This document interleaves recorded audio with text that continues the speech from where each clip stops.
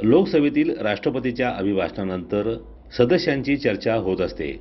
या चर्चेला उत्तर देताना प्रधानमंत्री नरेंद्र मोदी यांनी धोरणात्मक चर्चा करायला हवी होती. मात्र मोदींनी उत्तर प्रदेशातील निवडणुका डोळ्यासमोर ठेवून काँग्रेसवर टीका केली. महाराष्ट्रातून कोरोना देशभर पसरला असं खुजं वक्तव्य करून नरेंद्र मोदींनी टीकात्मक धोरण स्वीकारलं. प्रधानमंत्रीपद विसरून मोदींनी राजकारण करण्याचा प्रयत्न करून उपासात्मक वक्तव्य केल्यानं याचे राज्यात पडसाद उमटले. नाशिक शहर काँग्रेसनं शिवपुत्रासमोर निदर्शने करून नरेंद्र मोदींच्या वक्तव्याचा निषेध केला. प्रदेश उपाध्यक्ष शरद आहेर यांनी पक्षाची भूमिका मांडली.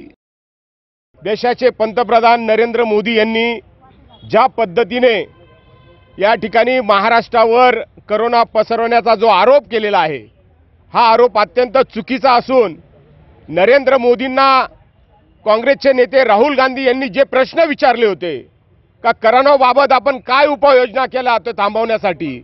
देशाची आर्थिक व्यवस्था काय आहे? देशाचे उद्योग का कमी झालेले? देशात बेरोजगारी का वाढलेली आहे? देशाच्या रुपयाचं अवमूल्यन का झालेलं आहे?